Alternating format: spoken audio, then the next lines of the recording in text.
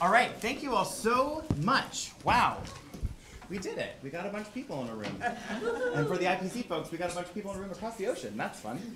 Um, so, I am Kevin Becerra. I use he, him, his pronouns. I work at Arts Emerson in Boston, but in this context, I am a facilitator for the IPC.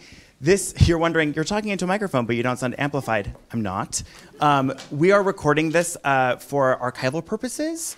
Um, uh, we're not live streaming, but we are going to use the footage later. So, um, just a quick note that when we do speak, we'll be passing a microphone so that uh, we can have quality audio for that recording. And then also, uh, these in the center will be picking up some ambient noise.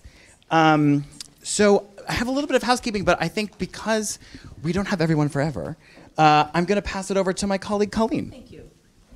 Welcome, welcome, welcome. First of all, we want to thank you all for taking your time out from seeing all those amazing shows. And as soon as this is over with, we want you to go back in and see those amazing shows.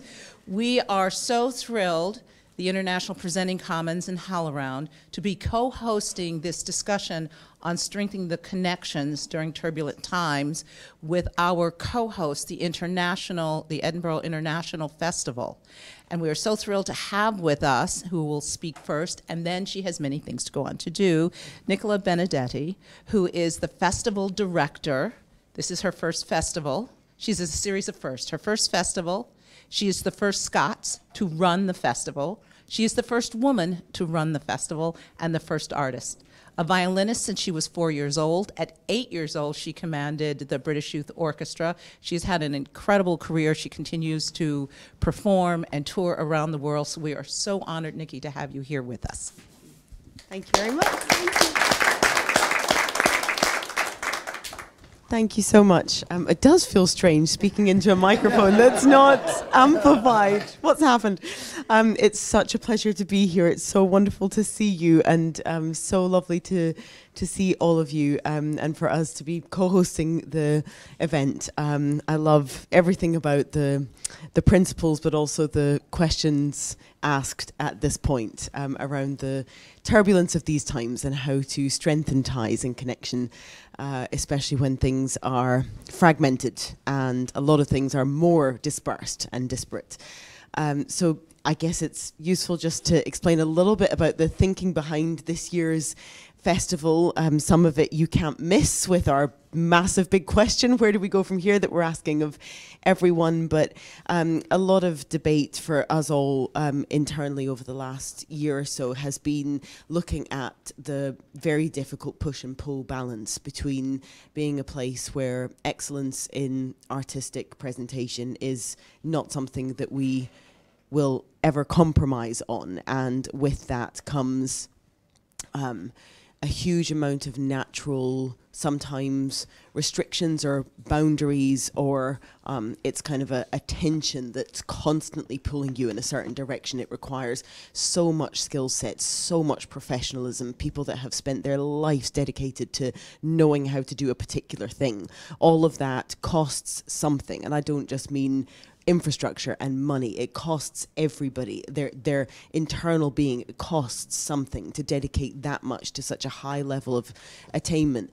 But equally, we're a festival that um, was born with extremely high ideals that speak to and are about and for people. Um, when you're speaking about um, the the human spirit. You're speaking about healing. You're speaking about reconciliation. You're speaking about breaking down boundaries. You're speaking about things that are non-hierarchical or breaking away from um, an us and them mentality. And of course, immediately post Second World War, that was as uh, live and tangible as ever. You are you, you must be speaking to everyone. You must be trying to speak to everyone. So those two things, they they they have a natural tension. So so much of our internal dialogue has been around how actually do we occupy a space that is that feels completely open armed, completely welcoming, completely about community, and that anyone is welcome in our spaces, but that we're not then trying to say okay, we're going to the things where the most people are occupying spaces within music, within presentation.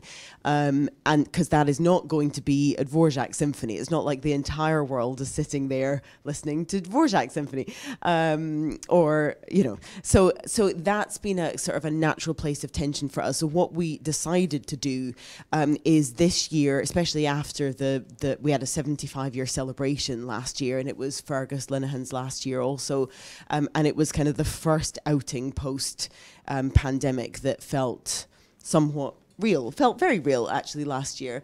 Uh, this year, we decided to open that dialogue and question to absolutely everyone. So, in every way we could possibly manifest, we've actually opened up the dialogue to the audience. Um, now, it's not obviously possible to manifest that in every space for every performance, of which there are 300 over three weeks. But there are lots of ways that we have started to try to do that. So part of it is how we communicate with the people that are coming to things. So through smaller um, like not gifts but smaller gestures like sending a message that also has a podcast attached to it that has a little bit of information that feels a bit more sort of personally put together uh, to um, just careful consideration as to how people are greeted and welcomed, an increase in everything that encompasses our accessibility to the festival, breaking down any barriers that may be there that um, without the proper research and training we're not actually aware of. So we've uh, uh hired somebody full time to look at that and has made an immediate impact.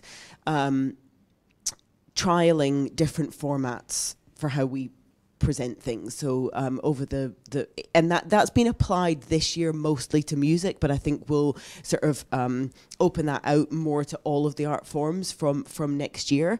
Um, uh, taking an example of the the symphony orchestra, um, obviously being a, a, a pretty staid format of the whole orchestra on stage and and rows of stall seats, so the usher halls felt like a very different place for the last couple of days. We we had I don't know if any of you were there last night with all the bean bags around the orchestra. Yeah, um, so we the audience and orchestra were as one basically, um, and we also had big community events in the gardens over the weekend. Um, on the Saturday, we actually had 360 non professional musicians of all ages from all over the country come together to create a piece of music of which they had all essentially composed and contributed to.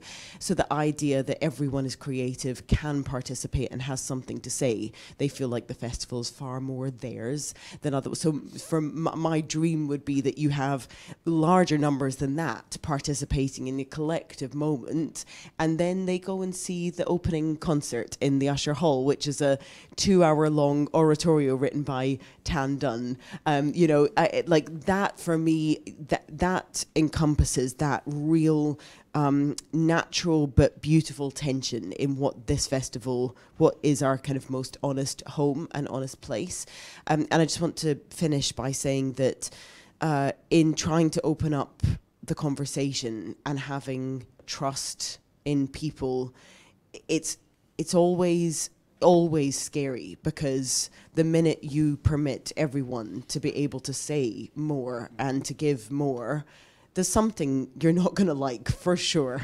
And uh, and and to to both encourage a deeper human respect for one another to, to be constantly sort of reiterating in, in, in the soft power ways that the arts can, that increased tolerance for an opinion that's so far away from yours. Actually, the third um, invitation that we have of the three in this festival is called a perspective that's not one's own. And how much can we tolerate and enter into that perspective? But how, how can you create spaces that are increasingly tolerant but also spaces that are actually genuinely inviting and open. Ones that, that you're not just play acting saying we want to hear from you and I want to feel where you're coming from, but you actually mean it. And some of that may be being exposed to yeah things that you you don't like or find offensive. And and so so we're but but to trust in people and for the festival to know that we're not a machine and that yes, we're professional it unbelievably professional. I just the amount, the amount, and, I, I can say that because I'm this new. I'm like, so I'm saying it about the team. I'm not saying it about myself. um, I like it's just uh, amazing what I've kind of seen and interacted with, and it's just it's it's really mind-boggling. Um, but we're professional, but that does not mean that we're impersonal. It doesn't mean that we're not a collection of people that are just like other people, and um, I hope that we've started that sense of almost a, a shared, um, like, cause it's like a shared communion um, between audience and artist alike, and and all of the the staff that work at the festival. That we're we're going, we're entering into something together with that sense of trust and exploration.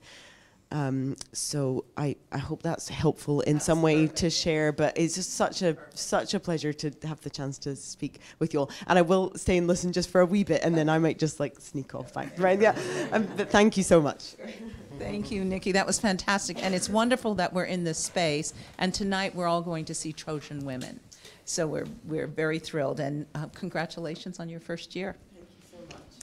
It's my pleasure now to introduce our co-host of this event, Roy Luxford. Roy has been with the International Festival since 2007. He is the creative director. Now, during that time, Roy's responsibility grows and grows and grows. And in addition to having expertly curated the festival in terms of theater and dance and other things, he also looks after the production of the festival. Previously, he was the executive director of Cheek by Jowl, the Michael Clark Company, he at Sadler's Wells, the Peacock Theater, general manager of DV8, physical theater, line producer for the first UK tour of Stomp, and he has been a dear friend and a colleague for many years. Roy Luxford. Thanks so much, Colleen, and welcome everyone. It's, it's great to see you here. It's great to see you all. I quite often just see you in a foyer, thrusting a ticket in your hand and going, go, get in, before it starts. so it's actually quite nice to find a moment within a festival context to take a moment to, and to actually have this conversation. So thank you, Colleen, thank you, Kevin, and uh, all your colleagues uh, for initiating this idea. And um, thank you for the introduction, but there is a huge team that actually uh, delivers the International Festival. And my key colleague is Emma Hay here, who's the program manager. So um, some of you will know lots about us and some of you won't know quite so much. So just to sketch in uh, the essential details for you. The Edinburgh International Festival, founded in 1947, it was a moment post the Second World War, very much about international collaboration and this beautiful phrase, a platform for the flowering of the human spirit through arts and culture. It seems to remain as ever present as the day uh, it was first coined. Of course, it's not just about the International Festival. The Edinburgh Fringe Festival was founded in the same year. Shona, welcome. Nice to see you today. Um, we also have a film festival, a book festival. Uh, in recent years, an art festival has joined. So really, the ecology in Edinburgh in August is about a series of cultural and artistic enterprises that make this the festival city. It's not just about August. Uh, we have colleagues, uh, Mike, I can see you from uh, the Lyceum, and Linda from the Traverse, uh, key producing theatres in the city who also host uh, work during August. So the special quality about this time of year is this real meeting point between different art forms, between different uh, makers, curators, companies, and I think what underpins everything for all of us is a spirit and uh, an enterprise of internationalism, and that is our bedrock. Um, in terms of this year's programme for the International Festival, I will just take an opportunity to say we have over 300 events. We have 2,500 artists from some uh, 50 countries. Um, our artists uh, number about 800 from Scotland, and as Nikki referenced, we had nigh on 450 uh, amateur and youth music makers on the stages in Princes Street Gardens over the weekend for our opening celebration. And throughout the year, the International Festival has uh, in this last year around 4,000 engagements across the communities in Edinburgh, and we were through every uh, council ward in the city.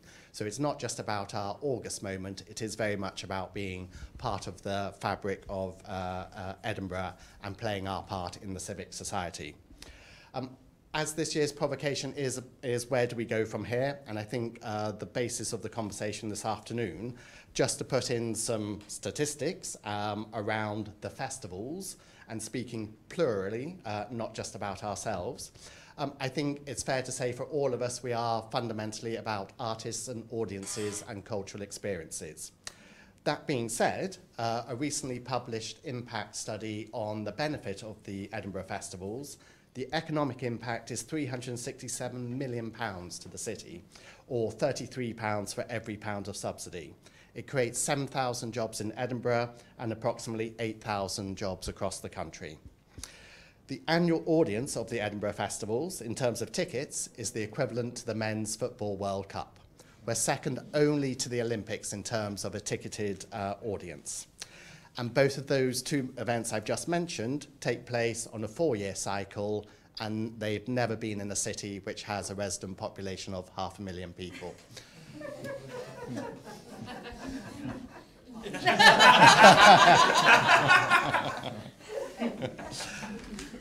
I'm not going to finish that sentence. I think that's exactly it.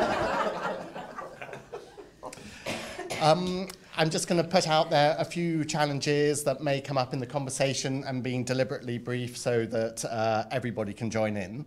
Um, I think one of the major challenges in the UK, in the UK funding system, our model of subsidy is deteriorating.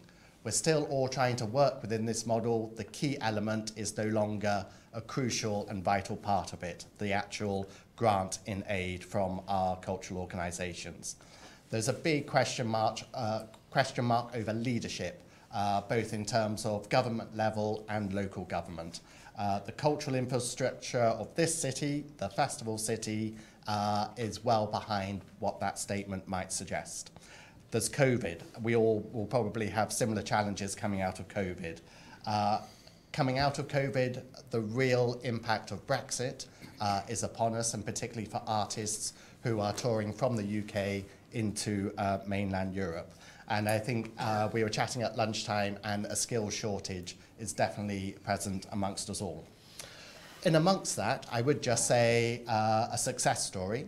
The film festival that I mentioned, um, the longest continually running film festival in Edinburgh, uh, the company went bankrupt uh, just before Christmas.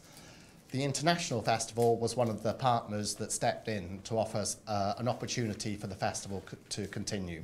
So with some great support from uh, funders and other stakeholders, the International Festival has this year added to its uh, August programme a film festival, which will take place from the 18th to the 22nd. So I think amongst all of these challenges uh, we face, there are solutions and there are opportunities to do things slightly differently. So keeping it very brief, welcome again. Welcome to Edinburgh. Thank you for being here. Thank you. Thanks, Roy. I wonder, um, Colleen. Thank you, Roy. We really appreciate your being here, and I know Nikki had to sneak out, but we very much appreciate the International Festival co-hosting us. Colleen, before you give a little IPC uh, uh, context, would you mind introducing yourself? You know, I was going to do that. A sudden I went, I introduced Nikki, and people thought, who is that woman? Um, I'm Colleen Jennings Roggensack, Vice President of Cultural Affairs at Arizona State University and Executive Director of ASU Gammage. And what I'd like to do is ask all of our International Presenting Commons colleagues just to raise their hands so people have an idea who we are in the delegation. So please take time afterwards to meet and greet and talk to our fellow colleagues. The IPC began at a time during the pandemic when we said, wait a second, what are we doing to continue to support the exchange of international artists? So it was a gathering of presenters, independent producers, directors to talk about what are we doing, what issues are we facing, what has been our history in terms of American presenting and internationalism. We did that through a series of streamed productions through HowlRound TV, and it was so wonderful that the team from HowlRound, could you just raise your hand, everyone from HowlRound? Thank you, both of them. Thank you, Abigail. Helped us to convene and have these discussions and then have them streamed out. We were able to do our first live stream out under the radar in New York City, and then we met at the Hamburg, the Summerfest in Hamburg, Germany. Since then, we've also had gatherings in Chile and in the Netherlands, and this um, then marks our third international.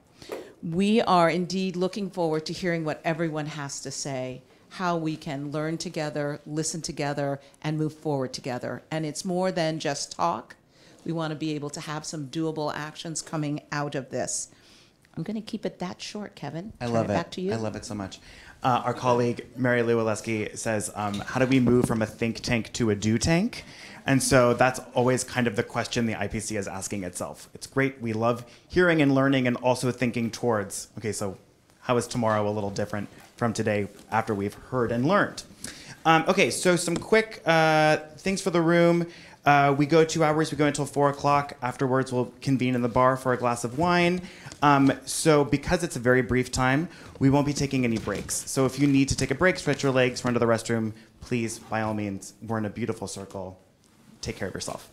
Uh, and uh, we'll be passing the mics around as people have things to share. Just ask that when you do get the mic, introduce yourself. Um, we won't be taking the time today, unfortunately, to go around and hear everyone's name and context, but just a quick introduction when you have something to share would be great. I would also add that um, if you are sharing context of, of the work that you do when you are answering a question or sharing a reflection, um, perhaps not the whole bio or mission statement of the organization, just like a quick, here's what we do.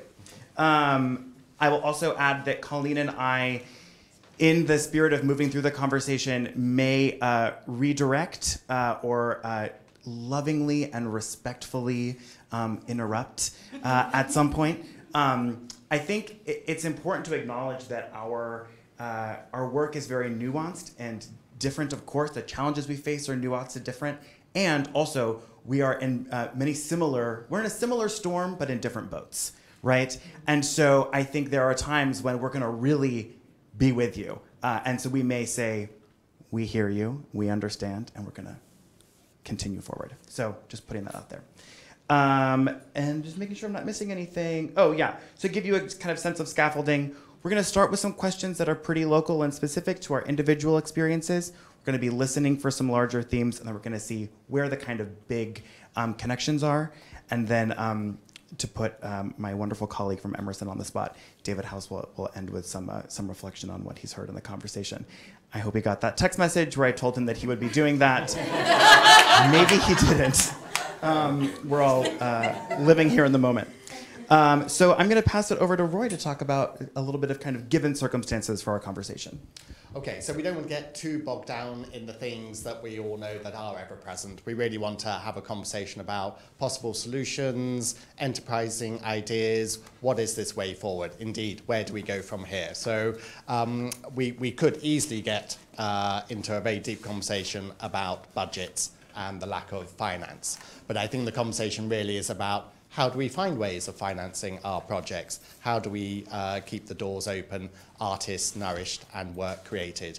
If anybody wants to shout out any other things that we shouldn't get too um, involved with, we're, we're good? Okay. I'm- I'm actually going to interrupt just quickly. So um, you gave a great quick look at the funding structure in uh, the UK. Right. And I wonder to, to speak um, other funding structure uh, given circumstances, if we could just hear quickly from my colleague Mara Isaacs here about um, a kind of snapshot of the US funding structure and some of those challenges for folks in the room who may not be familiar. Uh, I'll try to do this quickly. So uh, I'm Mara Isaacs. I'm an independent producer, um, working both in kind of big Broadway commercial sector, also independent contemporary performance and touring shows to festivals, etc. Um, previously, I spent over 20 years working in large U.S. Uh, not-for-profit producing theaters. Um, so I so when you say funding structure, I'm like, okay, well that's a funding structure, and that's a funding structure, and that's a funding structure. So very quickly, I will just say, the the not-for-profit institutions um, are reliant on a combination of contributed and earned income. More and more, the earned income is driving the budgets of these organizations, and and they really are reliant on ticket income um, for balancing the budget. Um, government subsidy is symbolic in our country; it's not substantive. And the um, subsidized contributions are generally coming from uh, individual donors, largely high net worth individuals whose pri- funding priorities and whims vary frequently depending on what is happening. Um, uh, the commercial sector is commercial. I don't think we'll spend a lot of time on that. Um, that's my snapshot. Did I miss anything? It's beautiful. Okay. It's incredible. Okay. So right now we know we are all in a challenging time, sociologically, politically, financially. But we're all here at the festival. Somehow through this, we would love to hear from each of you what specific challenge you are facing and how you're innovating. And be very specific, do it in the framework of your work, and whether it's presenting, producing, festivals. And I will be very transparent. I will be seeking a Scottish answer. I will be seeking a non-Scottish answer. And so I'd like for us to like share and, and do that. And I, I might call on Shona because she's in my eyesight. Wow, um, such big questions. Um, and I feel like I've already been on this treadmill for 10 days now. But I'm Shona, and I'm the Chief Executive at the Edinburgh Festival Fringe Society, which is the charitable organisation that kind of glues the fringe together but doesn't programme or curate the work of the fringe. Uh, the Fringe this year, we've got 3,500 shows happening in this city right now. There's going to be 50,000 performances of them. We've got 1,200 street performers. We've got 17 country showcases. It's phenomenal. um, and the big challenges, I guess, are the mantra of the Edinburgh Fringe is to give anyone a stage and everyone a seat. It's a really easy phrase to say. It's a lot harder to deliver. Um, and it's it's dependent on the whole fringe community being part of that kind of collective vision. Um, and the fringe was really founded on that principle of inclusivity and access. Um, it's a platform for creative freedom of expression, so it doesn't matter if you're a student at the start of your game or if you're Judi Dench, who's at the fringe this year. um, it has um, it has that whole spectrum, and it's a real leveler. The big challenges for us, I think, are how do you keep that kind of sense of inclusivity? Um, on one hand, our levers are registration at the Fringe has been frozen for 16 years now. Um, the average price of a ticket is still around £12. Um, neither our audience or our artists will tolerate an increase in those costs, but on the other side, everything has entirely hiked up. So how do you kind of keep removing barriers to access? Some of the practical things that we've done is in the last few years, we've started to call on some of the incredible alumni who have come through the fringe. So you'll have noticed Phoebe Waller-Bridge is our honorary president because Fleabag was such a success story through the fringe. Um, Phoebe gave £50,000 uh, into a pot this year. We matched it through other donors to give out, quite simply, £52,000 bursaries to artists. It sounds like a really small thing to do, but we had 677 applications for those 50 bursaries. But the response that we are getting, the email, I have two emails in my inbox this morning from artists who got that 2K bursary, and it made the absolute fundamental difference to whether they could come to this festival or not. So it's kind of, I mean, it seems like a small thing, it seems tiny, but it's kind of massive. Um, other things around um, access and inclusion, we partnered over the last three years with Deaf Action. Um, last year was the first ever deaf festival within the Fringe. Um, this year it is extraordinary. I went to see a show the other evening with Elf Lyons, the comedian, who's been working for the last year with a deaf artist. Um, the show was speech, it was mime, and it was BSL, but the audience was a total combination of both hearing and uh, the deaf community. And everybody was just laughing together. and it kind of, to me, that was like a model of integration that doesn't mean disabled people have to have something separate over here. Um, it's just exactly how it should be kind of normalised. Got big challenges, all of us, um, and we talk about this a lot, the International Festival and ourselves, um, about the, the um, urgency of climate action um, and how do we continue to be these amazing international events and the Fringe has 72 countries represented on our stages this year. How do we maintain that internationalism whilst also stop our climate from our, our planet from burning? Um, and again, a lot of things we're doing around that. Our team don't really travel anymore if we don't have to. Um, we are carbon neutral ourselves as an organisation now. Uh, because of that, we use digital technology as much as we possibly can. But even that, we're trying to make sure um, is digital really the answer, or all those massive servers out in San Francisco or somewhere um, actually contributing as much to carbon as, as reduction of print? Um, so we've reduced the print run of the printed program by 50% this year, um, and uh, we have a really clear plan with with targets year on year from now until 2030 for what we can do. And I think that's probably one of the biggest things is we've set out this sort of series of targets across all of our big challenges, and we've given ourselves a timeline through which to deliver them. I'm happy to circulate that kind of um, Great. uh, our sustainable de- development goals after this. But yeah, Thank you, Shona. Thank, no, thank you. That was just fantastic. Someone else. Yes, please, Emma.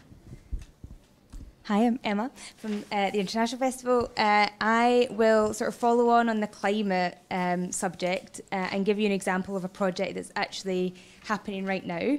Um, we're presenting, as hopefully you've seen and got your ticket for, uh, The Rite of Spring next week, Pina Bausch's choreography with École des Sables. And if you're familiar with the work, you know that there's uh, 30 performers from across 14 different African nations that are part of this. Um, when they tour, they re rehearse for two weeks at a time before uh, they present the work. So, in order to think about how we can more sustainably present this work, um, which has sort of carbon but also economic implications, um, usually the company they all travel to Senegal and re rehearse there. So, we brought them all to the UK first, so they have two weeks of re-rehearsal in Ipswich. So there's 50 flights that are not happening to Senegal because they're travelling straight to the UK. So kind of a drop in the ocean, but it's something. And then because the dates aligned with the presentation next week and their two weeks in Ipswich, uh, 13 of them were also able to travel earlier in July. They came up to Edinburgh and we had a week of artistic development practice, which we did in partnership with the British Council and Dance Base. So we had 24 artists, 12 uh, from the visiting company and 12 from here, sharing um, and exchanging um, in an entirely sort of um, democratic space where there were no outcomes uh, required. Um, but artists do what artists do, and they created a 40 minute piece of work to share within that week. Um, so actually, instead of what would have been a five-day presentation engagement, there's four weeks for 13 of those company members within the UK that's having economic benefit within Ipswich, but also in Edinburgh, and also giving them sort of an opportunity to be in, in different parts of the UK. So it's it's not the only solution, but it's how uh, you can just use your, you know, just think slightly differently about what the project needs to actually happen and, and how how you can affect that. Great. Thank you. All right, who's next? Please.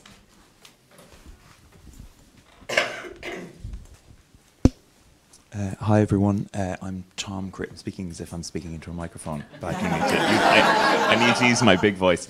Um, I'm Tom Creed, I'm a stage director working in theatre and opera um, based in Ireland, in Dublin. Um, I'm a sometime festival director, but not right now, um, and a board member of Culture Ireland. Um, and we're supporting 11 shows uh, this year at the Fringe, including two shows at the Traverse, um, as well as Lankum at the EIF and uh, events at uh, the Book Festival. Um, and we, on the one hand, it, sometimes seems in these contexts that like Ireland is some kind of utopia of unicorns, where like the uh, the funding went up during the pandemic. Um, we've introduced a pilot basic income scheme for 2,000 artists. Uh, we're heading into the second year of that. Um, so there's more money for um, the Arts Council have the biggest budget they've ever had. Culture Ireland, which supports Irish culture abroad, has the biggest budget. It's not a lot of money by uh, the standards of other European countries.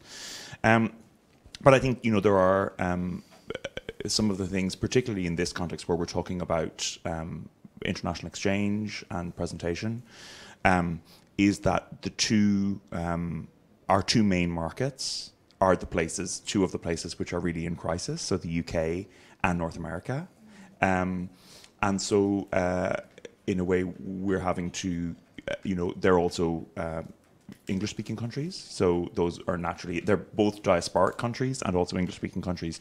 So those are naturally the places where Irish artists and Irish productions would gravitate. Um, and while that is still happening uh, to some extent, um, there's a kind of urgency to find uh, new um, uh, new presenting opportunities and new collaborations, um, and uh, you know to kind of build on the fact that we're uh, we are now the only English speaking country in the EU, um, uh, or the own with English as our first language, I should say. Um, so I think that's a particular challenge.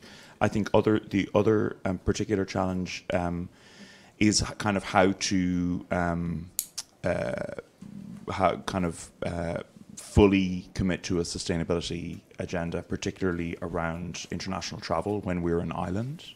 Um, it's you know it's actually I um, had an exchange yesterday on Facebook with a, a, a European person who's working in kind of cultural and sustainability, kind of having a go at me for flying to Edinburgh, um, and kind of going you know how long is the ferry? And I went well it's ten hours. Uh, with the train and the bus, and if you're doing a short trip, and actually we don't have the luxury of being able to hop on a train between Paris and Berlin or a night train. Um, and so how as you know with with these two particular uh, circumstances one around our two main markets and also around being an island um, how do we continue to work internationally and grow internationally and also allow our international colleagues to benefit from the increases in funding both to create work and tour work that's happening uh, in Ireland um, but while being able to be sustainable and finding new places to do it. So I think that's maybe a snapshot of um, where we are in Ireland right now. Great, thank you. That's it, I'm going home to the unicorns. Thanks so much, Tom. Uh, I'm Mary Lou Aleskie. I am the executive director of the Hopkins Center for the Arts at Dartmouth College. And um, I want to pick up on this uh, story of our diasporic communities. Um, you know, 2020 was the first time that IPC came together, and in 2020 we were feeling the pressures of a crisis. And since then, um, we've lost some of our most uh, prolific international uh, presenters in the United States. You're, you're, you're right. We are part of the crisis. Um, we've lost Under the Radar. We lost BAM uh, New Wave Festival, and um, as a result, have fewer and fewer international artists on our shores. I was very jealous to hear that you have 50 in countries represented in the international festival. I'm, I wonder if we have 50 international countries or countries represented in our presenting community in the U.S. right now. Um, so with, with that said, um, and we're here at a place where uh, the investment was in the flowering of the human spirit post-World War II, I'd love to hear from our U.S. Um, Consul General on um, what you're seeing in the diplomatic corps, how, what, what good news is there out there or practices that we might be able to collaborate with others on, and, and where do we uh, find ways to overcome these barriers and not be an isolationist country? Sure. Thanks very much. Um, and hello, everyone. Uh, as you mentioned, I'm, I'm Jack Hillmeyer. I'm the, the U.S. Consul General here in Edinburgh. I feel like an interlooper into your artistic community here, um, but I'm, uh, I'm very jealous uh, of this. Uh, one of my secret uh, secrets that I keep within me as I go around being a diplomat for the past 20 years that I was an acting major in college at first. So, uh, so I learned how to project my voice a long time ago. I don't need this microphone, but. No, thanks very much for that. But uh, I, am afraid I don't have great news for you because, um, as you say, the topic of this uh, is uh, during turbulent times. And obviously, we are living through turbulent times. Um, many of you know about our own country in, in America and, and living in the United Kingdom. There's this similar, um, I guess you could say, splitting the divergence within our within our societies. Um, and it's reflected in, in, in, so many different ways, and I think it's reflected in this as well. Uh, I've been discussing with many people um, that every country is different in how they perceive the different challenges, uh, and specifically what the government is in charge of. Um, and in the United States, I think it'd be fair to say that um, we don't consider the government to be the one that is in charge of culture.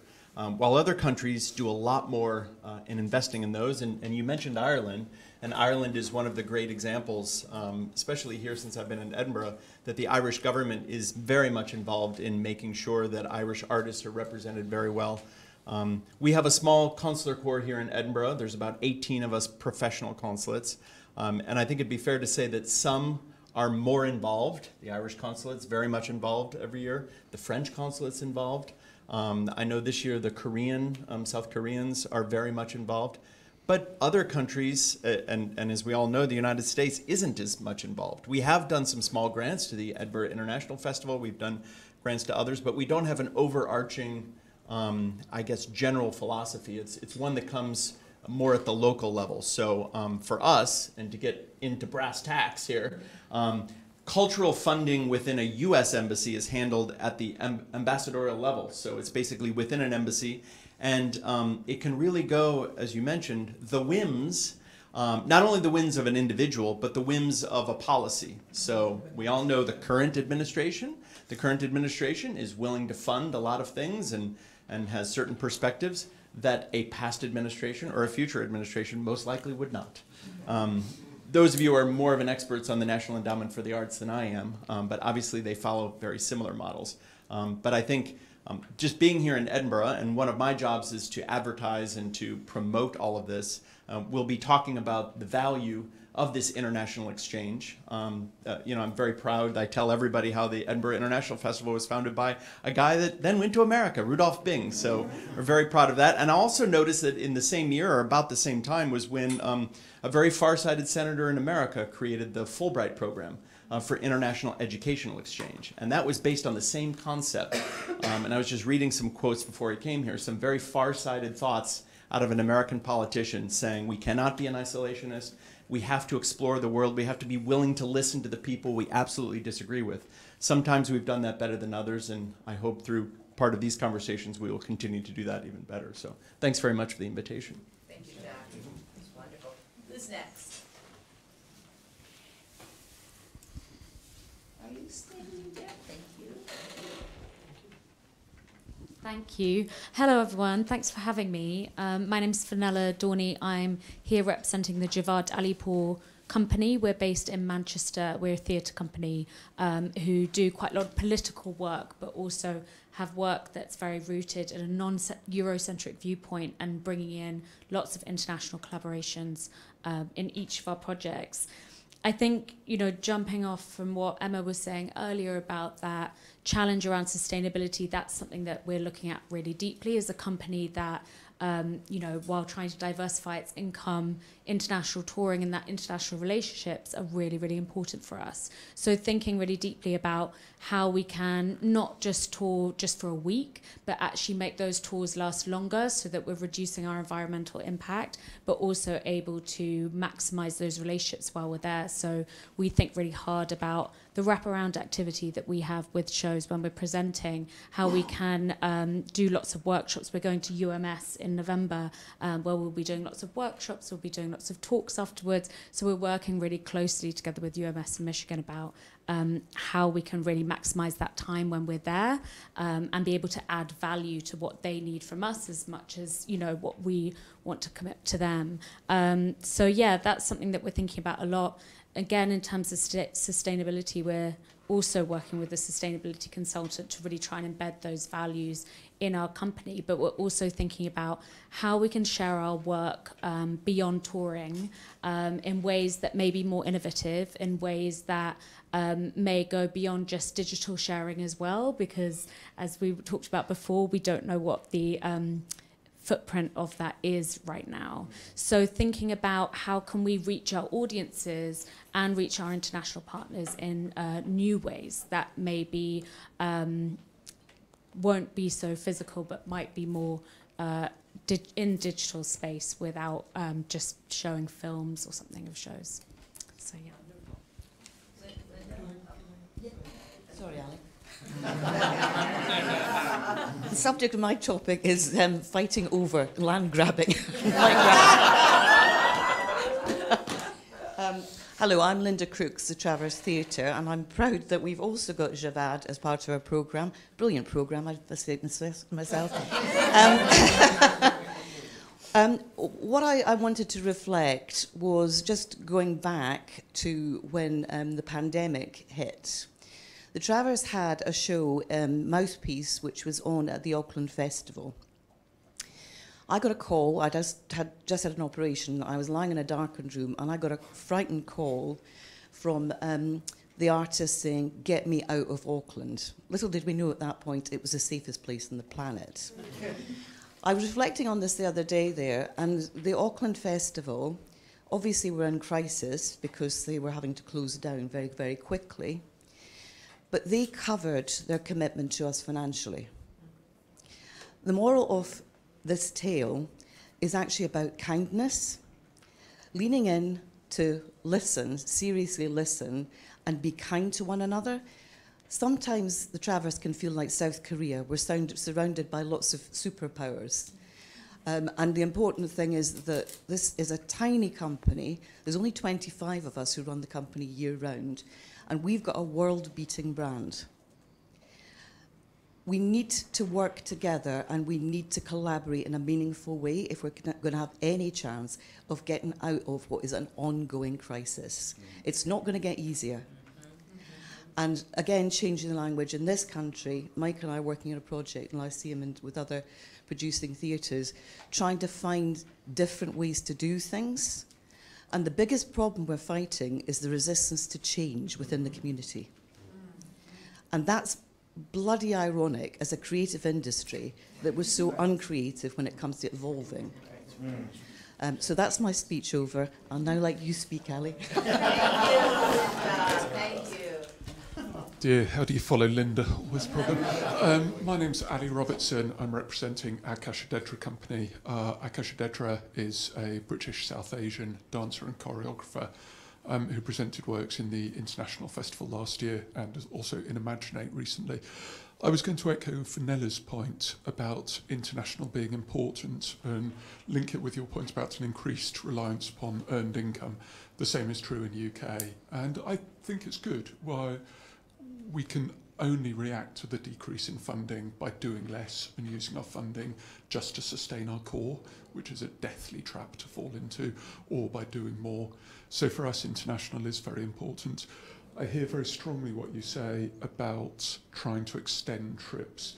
A problem to which I don't have the answer, but which has kicked in since COVID, is that everyone's programming horizons are all over the place.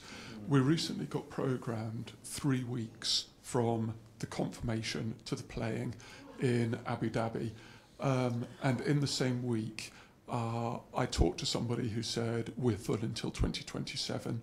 Um, now, this is always a factor, and of course, presenters have their own context and they have to make their own decisions about programming horizons. But since COVID, it's never been as there's never been as much of a gamut, and I find it increasingly difficult to line up those tours in a meaningful way. And that is particularly the case because sadly, air travel doesn't cost that much compared to everything else. What Tom said, I hear there would have been a financial massive cost to you to take the train and the boat and the 10 hour trip. So we find ourselves in the terrible Hobson's choice position of very often going, it's actually going to be really cheap to go out and do one week and then go out and do another week six months later.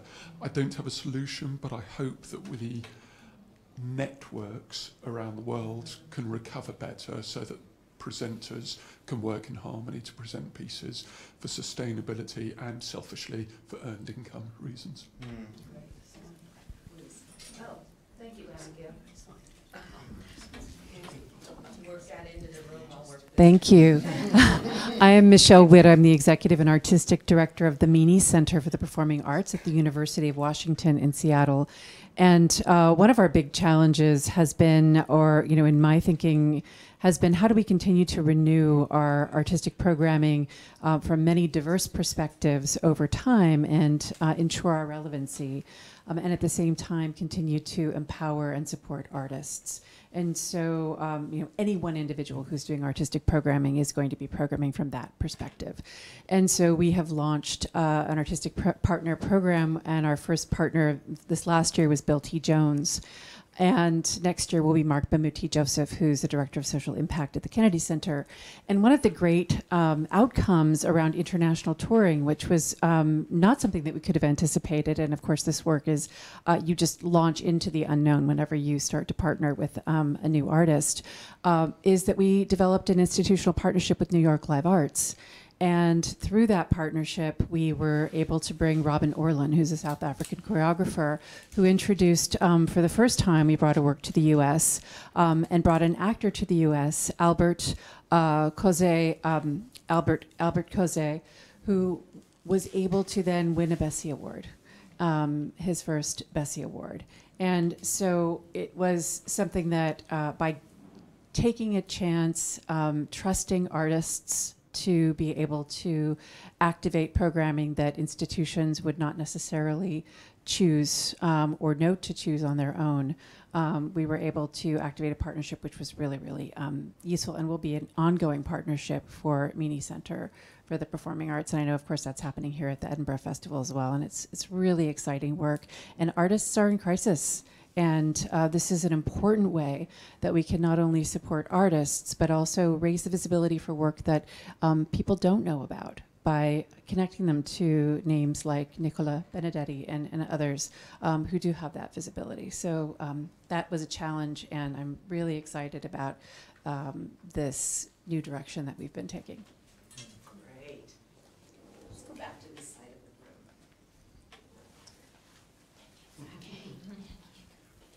Hi, everyone. Um, Jennifer Harrison Newman from Yale Schwarzman Center. Um, great to be here. Um, I want to just lift up a couple things that I've heard that I'm connecting with. Thankfully, to Cultural Ireland, we are presenting two artists from Ireland um, at the beginning of our season. We're entering our second season only in live performances. Though I've been involved with the organization now for five years, um, we were slow to open due to the pandemic. So it's exciting to finally be doing live performances. But to say that, um, we're starting quite small. So thank, thank you. I'm so glad we have your artists with us. Um, I think that um, one way I've been working is collectively, regionally, with other organizations to try and um, support artists, local artists, mostly uh, presenting and working a- alongside uh, sort of my regional partners to, to sort of mitigate, I guess, travel and to mitigate those, you know, those kinds of things. Um, internationally, working with um, a lead artist to curate for us as well over long periods of time. Um, so bringing up artists that might not have been known before, but from the artist's perspective, I think that's another model we're working with as well. Um, so I think I'm, I'm sort of just underlining a lot of things I've heard already uh, from the room, particularly um, as ways of working. And I think you know inter- international collaboration, commissioning, co-commissioning will certainly be something we're interested in, and how to sort of build sustainable models. Um, I'm very much interested in helping artists sustain. They are in crisis, and what does it mean to have um, equitable agreements and equitable con- contracts? And as we're big, an, a new organization, something that's on my, on my mind a lot is how to build from the ground up. Yeah, ec- ec- equitable processes and um, that are embedded in our in our in our way of working. And Roy's going to respond to that, and then I'll come back to you, Ronee. Thank you. Um, just connecting with those couple of comments. Um, from a festival's perspective, um, those uh, cultural agencies that are the strongest, so it is Ireland, it's probably Canada and the Quebecies, it's probably the French, will start to have um, a, a very uh, out of proportion, uh, perhaps, representation in programs because they are still well resourced, thankfully, and they are committed, thankfully. But I, but there is, it, from a festival's position, it feels that there is an increasing pressure to look to artists from those territories which are very strong in this regard at the expense of other areas of the world who perhaps don't come with that support. So that's just something we, we are witnessing. And then in terms of sustainability, Emma gave a great example, but we're also developing residencies by having two or three of our orchestras being resident for three or four performances in each festival edition. And in fact, in this year, we have three resident theatre companies. So Jekka has brought us Geoff Sobelle's wonderful food, which is in the studio uh, just behind us. Uh, we have NTS and their uh, production of Thrown with Linda at the Traverse. And uh, thank you, Linda. Uh, did I thank you, Linda? Thank you. Um, and also, and we must come back to Punchdrunk at the end of this afternoon, but we have uh, Punchdrunk Enrichment's uh, a fantastic Lost Lending Library up at the Church Hill Theatre, which plays to a younger audience, which is also here for the duration of the festival. So I think uh, we're embracing those longer runs, but then that does also mean there's perhaps less opportunity for other invitations. So we're always just being mindful of one choice impacting another uh, choice as we go. Thank you, Rory. Ronee. Yeah. Um, hi, everyone. Uh, Ronee Penoi. Uh, I'm Director of Artistic Programming for Arts Emerson in uh, what is known in the U.S. as Boston, Massachusetts. Um, it, it's so funny. I was about to go down a similar path, Roy, to your previous comment, but more broadly, what I'll say um, i- is that all of the changes that are happening, uh, and I'll, you know, I'll speak more to the American context because it's my own. Um, it, that because the landscape is shifting so much, what I'm finding uh, in my work at Arts Emerson with my colleague David is the sense of who you're accountable to has really um, become more apparent. So not only uh, are we thinking about uh, being accountable to audiences in Boston and to Emerson College and to um, the artists that we work with, but also thinking about for uh, the landscape in the U.S. If uh, if we don't present a certain international artist, and international work is a huge part of our focus, um, where is that artist and where is that story going to be told, and how is that affecting American isolation uh, isolationism? If there's not so many places for those artists to go. So we may have a uh, certain set of priorities, but I'm finding so much more now a sense of responsibility to even if um, we're not able to move forward on something, having a different kind of relationship to colleagues to say, I don't think that this is for us, but you really should be taking a, a look at this. Um, and I'll also just add that as a step in the direction of taking some action, um, you know, in a in a certain direction, is that we're we've made a commitment uh, in terms of our uh, international work to present projects that need uh, um, at least one and ideally two additional partners in order for us to move forward.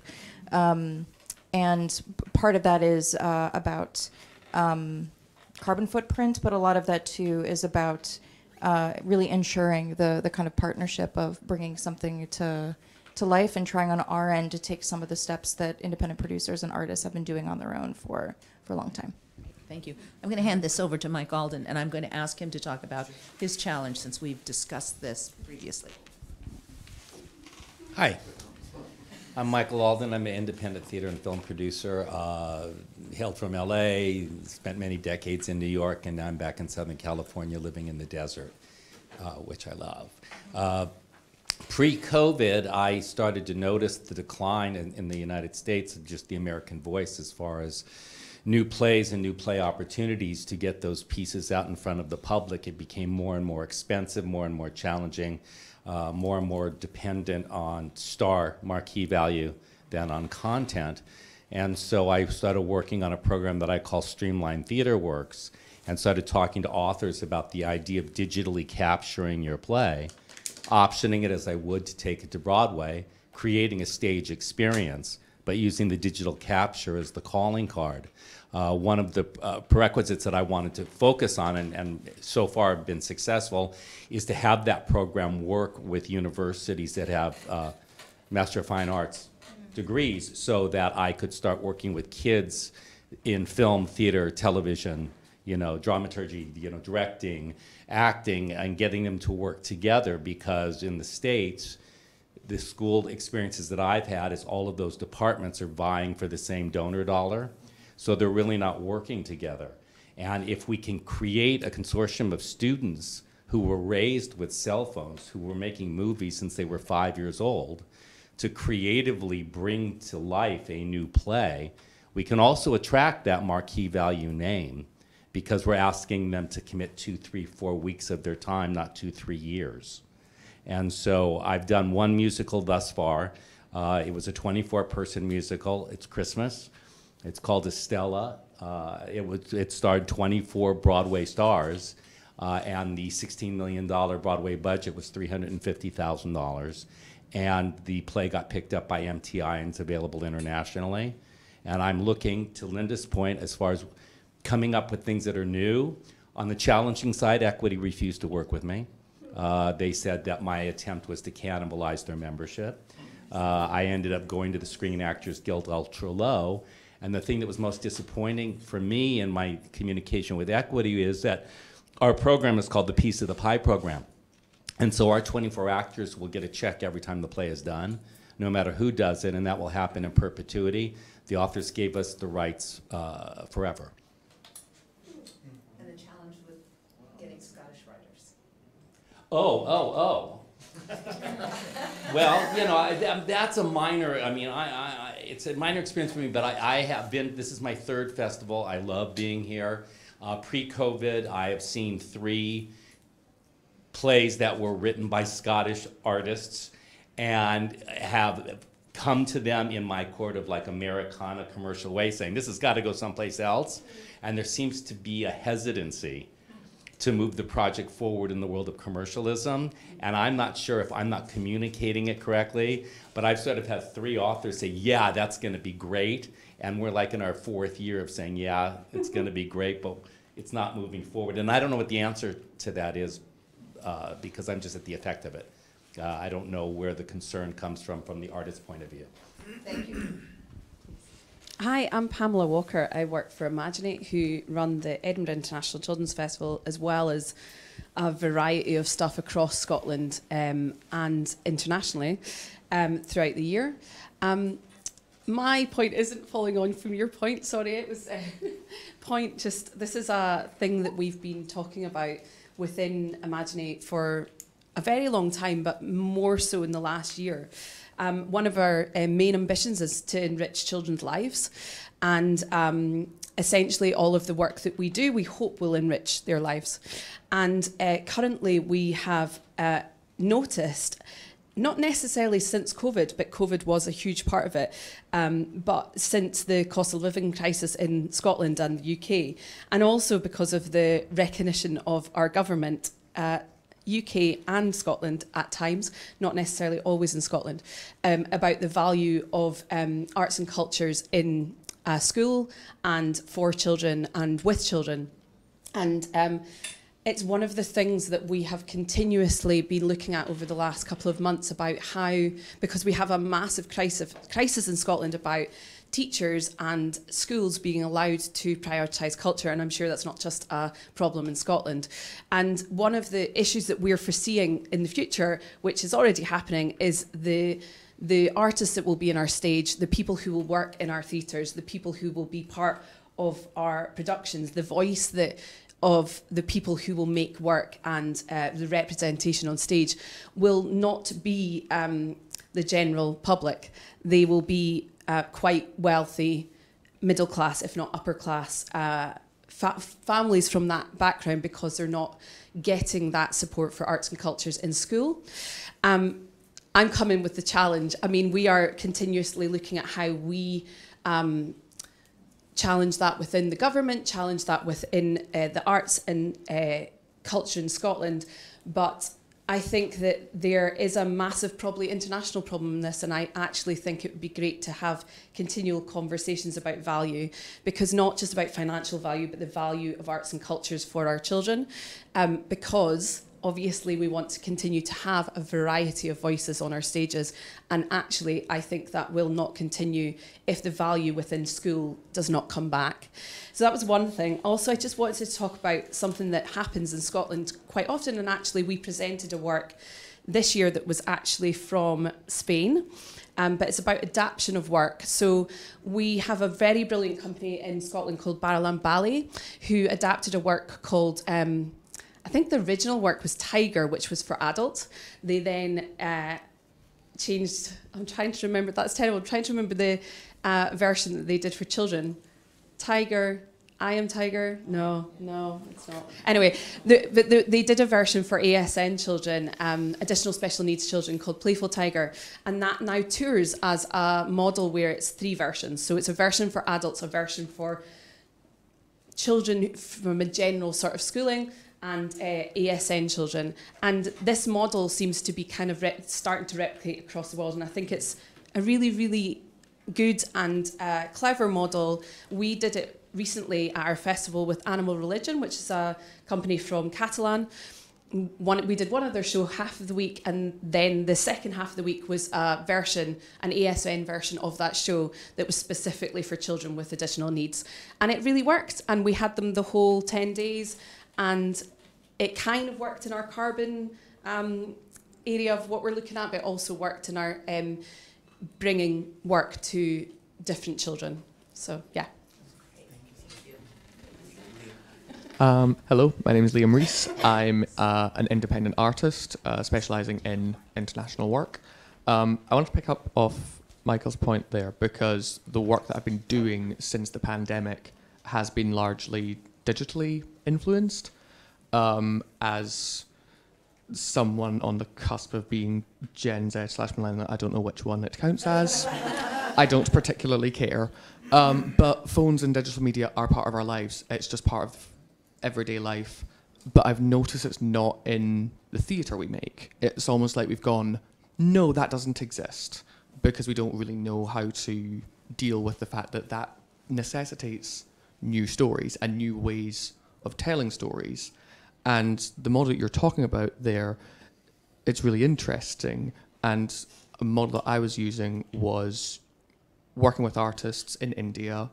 We would meet on Zoom once, maybe twice a week, and we were able to work over six months because we weren't bound by having to be in a rehearsal room and having to create in a specific time period.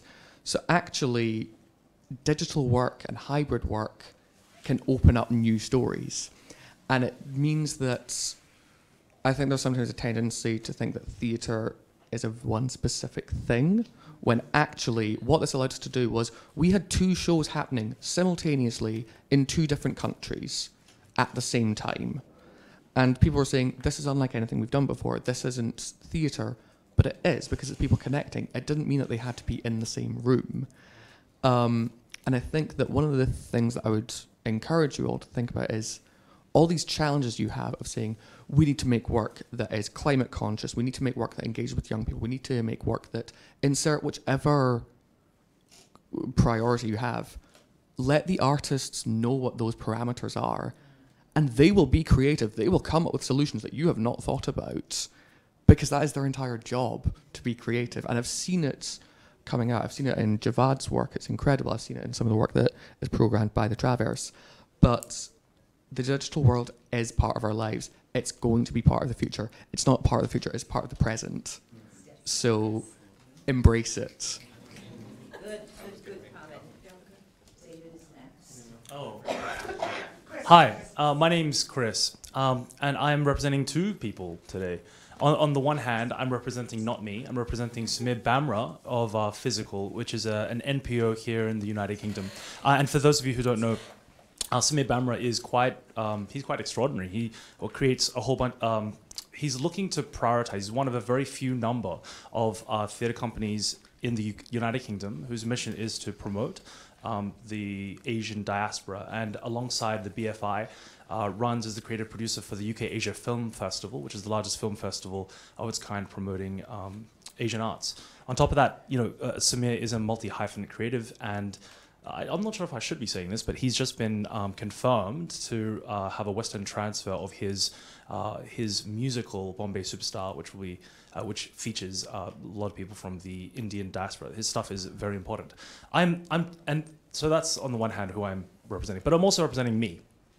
And I'm speaking from a different uh, perspective from a lot of people here. So there's a there's a there's a question of um, there's a question of ecology at play here. And I thought what I wanted to add today was um, a small view into what I am seeing from my own perspective, as well as what I'm seeing um, from other people as an artist.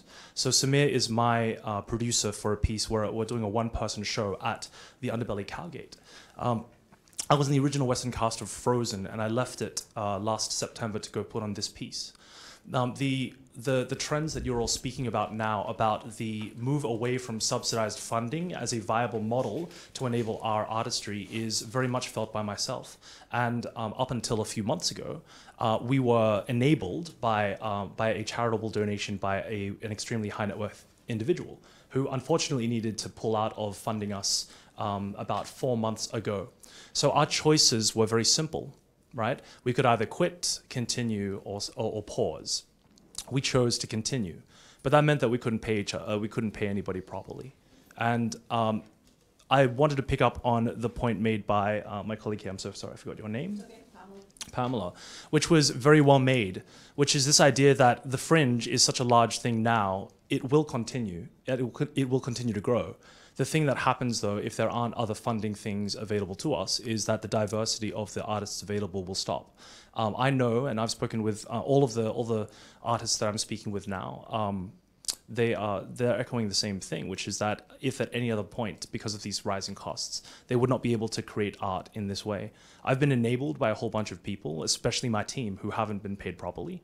I myself haven't been paid properly. We have small funding things like this um, this Edinburgh Keep It Fringe Fund, but what it what it what it does require is that artists now need to innovate, as my esteemed colleague was speaking about before. And what we've needed to do, and we've put enormous amount of effort into it, is we've started uh, taking bites out of the pies normally reserved by um, funding specialist producers. So now we are learning, we are needing to learn, we're needing to invest in um, how do we approach, how do we approach and, um, uh, and curate the relationships of um, funding specialist producers from starting from zero without funding, without, without training, without understanding anything, without any formal understanding of the systems whatsoever? How do we, how do we cobble together an understanding of the industry that is large enough? Now, from that, I've needed to learn a few things. The first of which is that, uh, oh, um, Samir's company gained NPO status in the last cycle, which is kind of extraordinary in the United Kingdom because a vast majority of uh, many, many NPO, uh, NPO organizations lost their status. NPO status means that you get generally a, a very, a very brief outline funding for three years.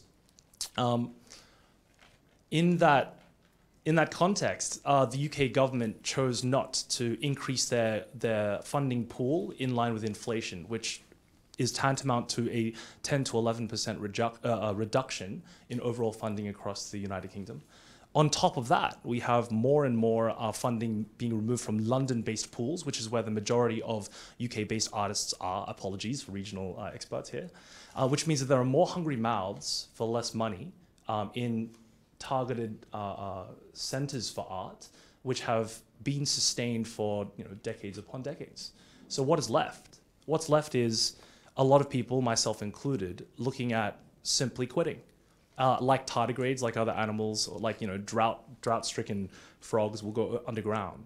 And over time, as Pamela mentioned, what will replace us is uh, middle-class people, people who have privilege, people who have the money to fund themselves, people who have the capacity to reach into their pockets and pay forty thousand pounds to run an EdFringe run.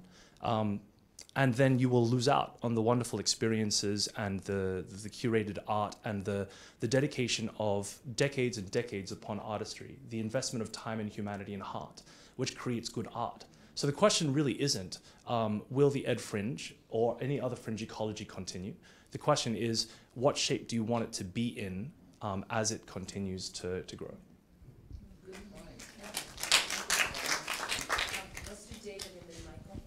Great. Um, I'm David Howse. I'm the um, Vice President of the Office of the Arts at Emerson College and Executive Director of Arts Emerson. Um, I'm working with my colleague Ronee.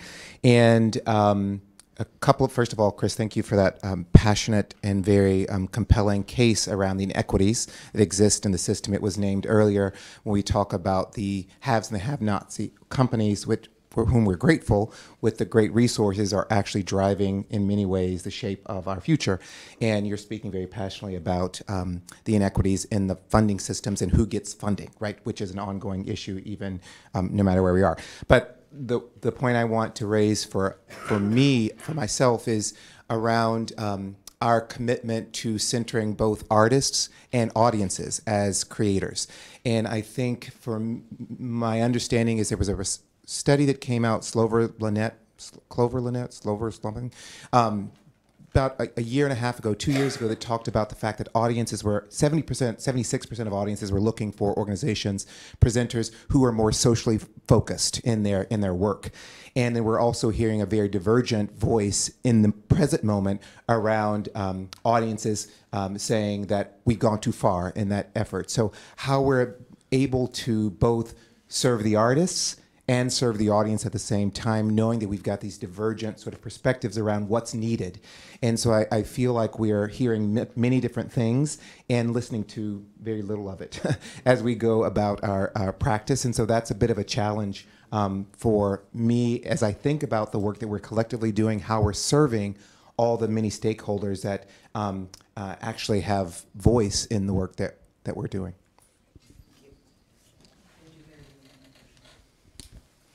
Thanks. Um, I'm Mike Griffiths. I'm the uh, executive director at the Royal Lyceum Theatre, the other key producing theatre in Edinburgh.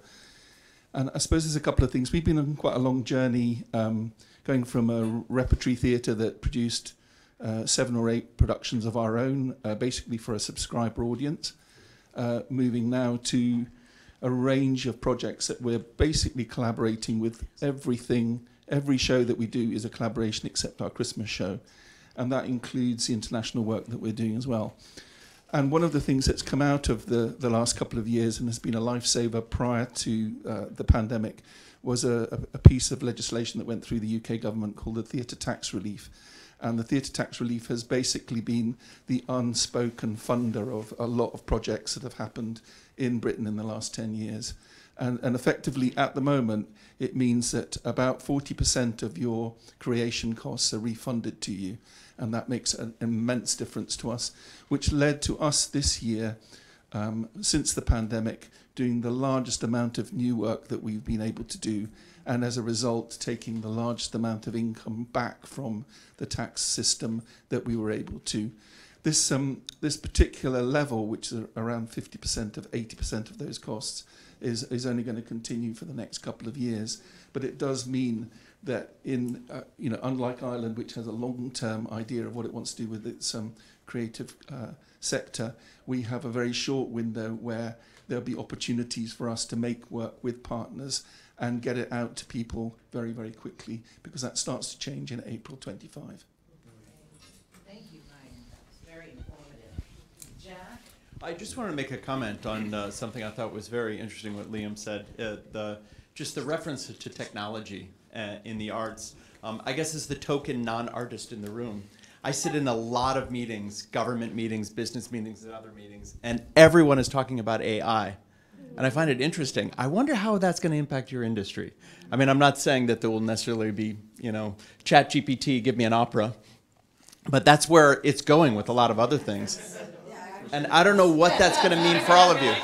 I hate to be the scary one in here, but change is going to continue, and it's going to continue to impact you in so many ways. Well, it's already here. We've given it. Has anybody been to ABBA Voyage? Yes, yes. Well, and, and Jack, I think you make a really important point because in different cultural organizations, people are sitting down talking about how not to be afraid of it. And then where do we go? And then clearly it needs to be a part of this discussion and and other discussions because it isn't going away. And Liam, I really appreciated your comment about, you know, you have to have three generations at a table when you're having a discussion because that's how you get forward thinking. But how do you use it? How do you you share it? I also think there was a great comment made over here about being able, Chris, being able to help people to learn how to produce. You know, it's not just artists making work, but how does work travel and who makes that happen as well, that that's equally as important. Laura? Hi, Laura Colby. I'm the founder and president of Elsie Management, which is based in Brooklyn, New York. And um, nearly half of my roster, I represent a global roster with about 20, 22 artists, nearly half of whom are internationally located. Um, five countries, three continents. So I live and die on the international exchange. It means the world to me. Uh, we specialize quite specifically in contemporary theater, dance, and circus, and a lot of outdoor spectacle. Um, the challenge, as someone who is both touring companies out of North America and over the big oceans, as well as bringing companies over the big oceans into North America, um, I was introduced to this magic in August in Edinburgh, thanks to Mr. Mushalla, who said just very pointedly, You must be there. So I showed up. I showed up, and um, it's, you know, it's, needless to say, the world has been introduced to me, and my life changed as an arts worker quite dramatically just from coming here and being on the ground. Thank you, Michael. Um, I'm in a moment where I finally am bringing a UK artist into North America. I win. Only took me five years. So, and this is classic. When I first started coming here, it was in the heyday of the British Council. When I know many of you experienced this, especially the North American presenters in the room, you would go see a show, you would say, Yes, I want. They would make, and you would tell them what season, and they would give you a subsidy. It was like magic. So I never got to benefit from that because I was still a, very much a baby in the room and not. So when I finally got there, oh, what, where'd the British Council go? all, all gone, practically. I mean, it doesn't exist in the same, with the same robust muscle that it used to have. So the UK company I'm bringing over, which is an award-winning company and blah blah blah, doesn't is coming over with not an ounce of UK money backing it for its debut in North America. That's painful. So there, that's, that's, that's a big reality. And then for the US artists, well, forget it, because there's nothing.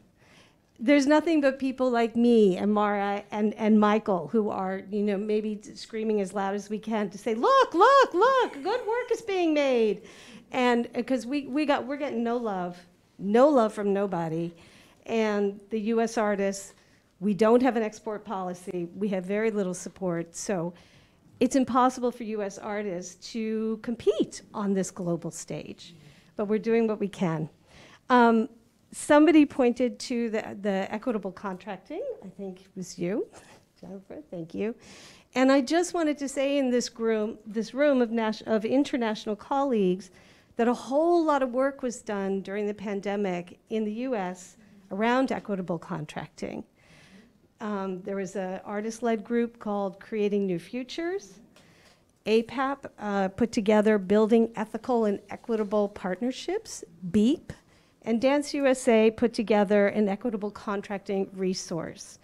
So these are all advocating for first payments, things like out of pocket expenses guaranteed in the case of force majeure. There's language change. This is a daily challenge for me. I'm fighting with a, a university.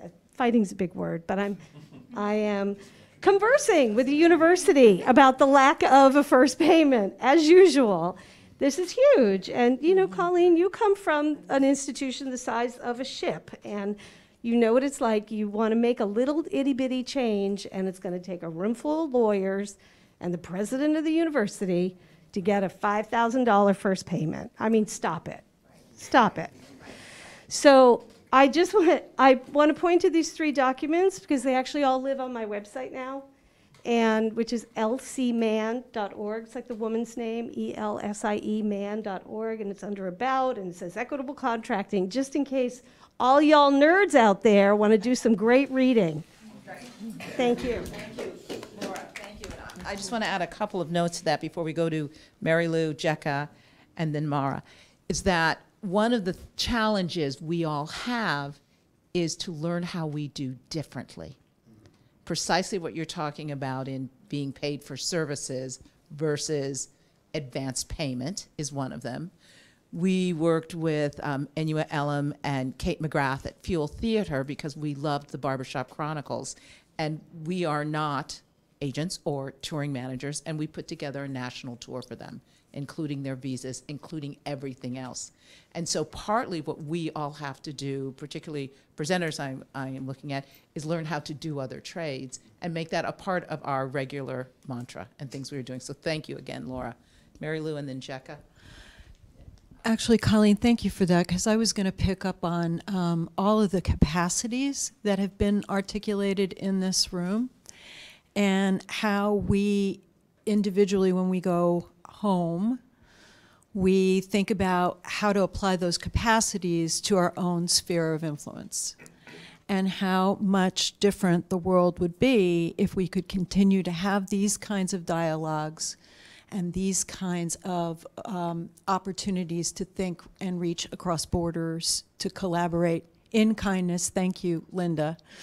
And, and to not just think about what uh, we are as presenters, but to think of ourselves as as people who facilitate each other, because there's a lot of disparity also right here in this room. Those uh, those creators who are here that are self-funded and independent and have to worry about their resources for their artists and themselves versus those of us who are institutionally supported.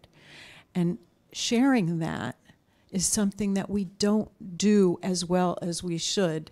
I have to say, I'm very excited about any producing partnerships in the UK for the next three years, hoping you'll think outside of the UK.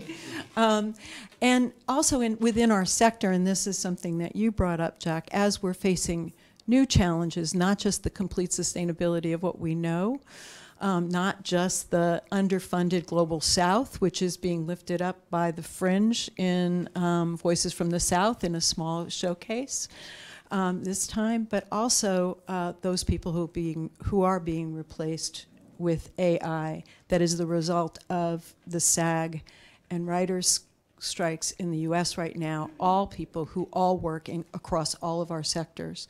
So I, I don't want to sound preachy, but uh, uh, this is coming from a place that sees nothing but possibility among all of the comments that were made. Look at what we did. And let's add uh, We See You White American Theater uh, to your list. Um, you know, Laura, it, we've, we've done a lot. We can do more. So thank you. Hi, everyone. I'm Jecca Barry. I am an independent producer. Uh, I'm very lucky to be here with Geoff Sobelle's Food at the International Festival. Please come and see it. Um, uh, I also have another company called Up Until Now, which focuses on work with uh, the deaf, blind, and disability communities and developing new work, um, both live performance work and digital work. Um, and you know, as, as an independent producer, I've been very lucky to have toured a lot internationally and domestically. And one of the things that I have, I have found sort of in the last coming out of the pandemic is that there is this desire for more transparency. Um, I have never had so many conversations with presenters where they have shared budgets with me um, and showed me what their labor costs are, right, which can be wildly divergent depending on where in the country you are.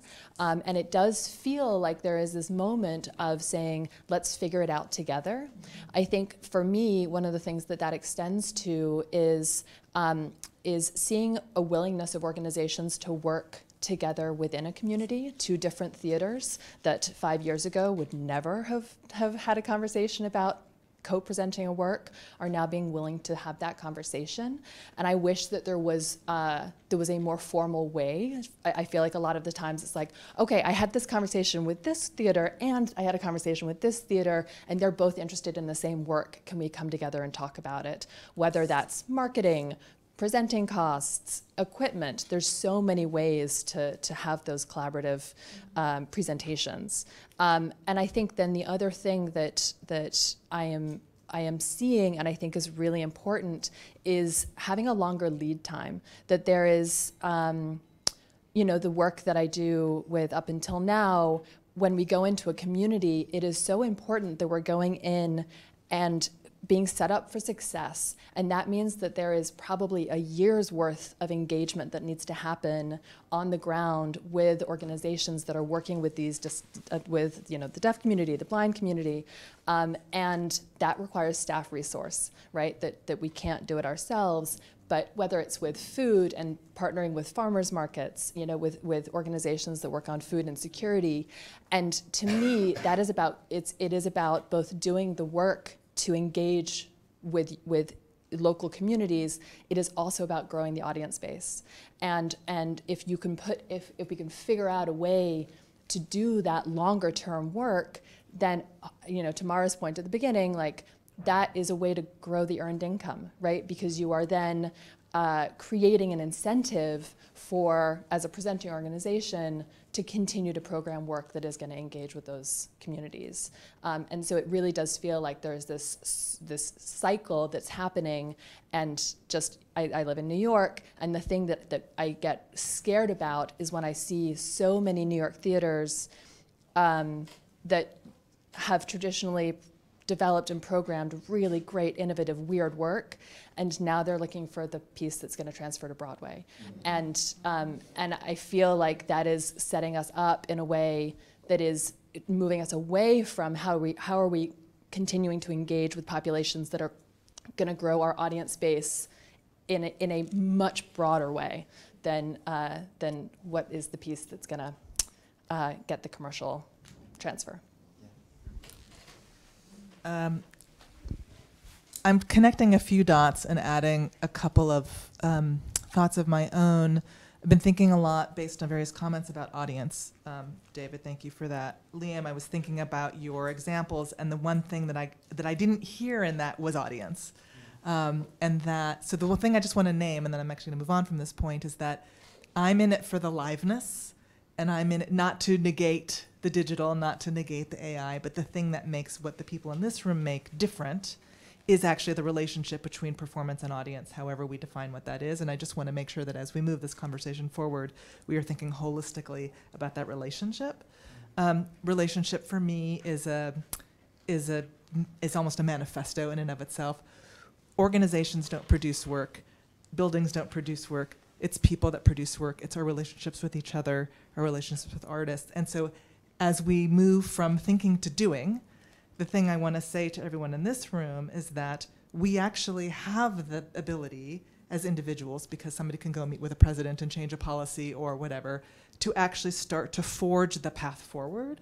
That I, we want to sit here and list the the issues that are wrong and wait for someone to present the solution to us. But in fact, it is our job to come up with the solutions.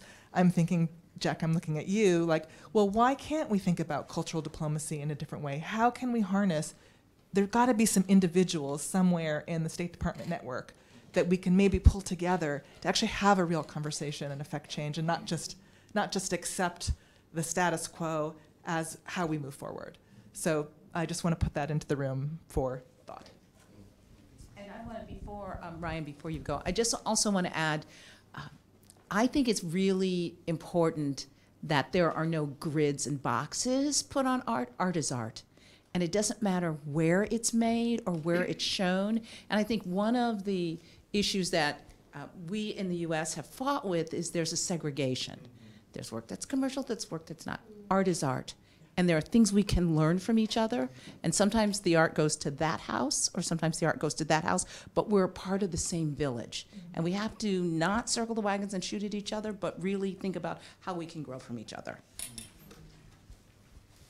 Yes. Um, yeah, that, I mean, that's a perfect segue for the point that I want to make. So, I'm the Creative Associate at Northern Stage, which is the largest producing theatre in the northeast of England. Um, and I suppose just wanted to kind of share I was thinking about Mary Lou's point about your sphere of influence, and I think that as as myself and my colleagues work to build international partnerships to make work and to bring work to a building that was built at a time of huge um, healthy government subsidy that allowed beautiful international work from across Europe to come to Newcastle and, and meet an audience. Um, we also need to think really carefully about the impact that we have on the place where we work. So prior to this role, my creative practice research kind of sat thinking about place and, and how kind of cultural work and cultural centres relate to placemaking, um, we have an opportunity here to think about how all of the actions of this kind of business uh, have implications in our community.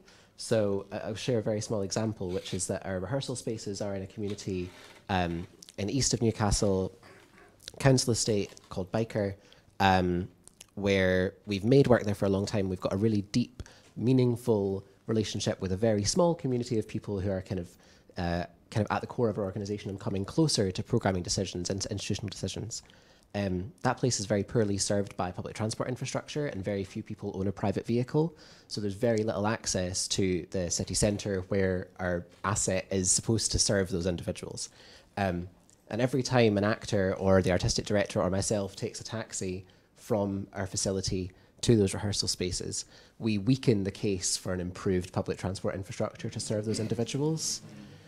Um, so I think we have to really think deeply about the actions that we take, where we are spending our government subsidy, where we're spending the income that we earn to serve this community, to serve the place where we are, and actually to build the place where we are. because that has a direct implication of the cultural lives of those individuals that we're purported to serve.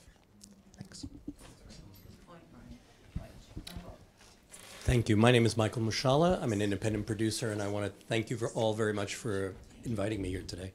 Um, I, I have more of a question than I have something to say. You know, I think one of the th- one of the things that becomes obvious as we listen to all of the points that are being made is that we're all, re- you know, think, take it outside of the world of the arts. We're we're in a bit of an, you know, a, a, an industry's ecosystem, and what is what is the role of each of us in that international community uh, as part of as part of the supply chain, if you would? You know, what what happens when the uh, programming horizon is changing so dramatically?